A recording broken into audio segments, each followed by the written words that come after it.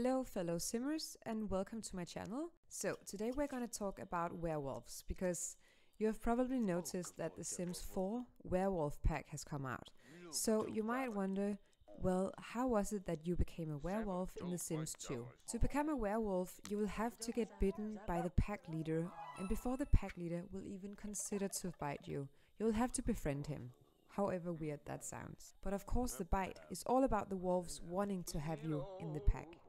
And the best way to befriend him is, like with many other dogs, to stroke him, to give him treats, and to just pay attention to the dog and play games and such. First and foremost, of course, you will have to just attract the wolf to your lot so you can befriend him there.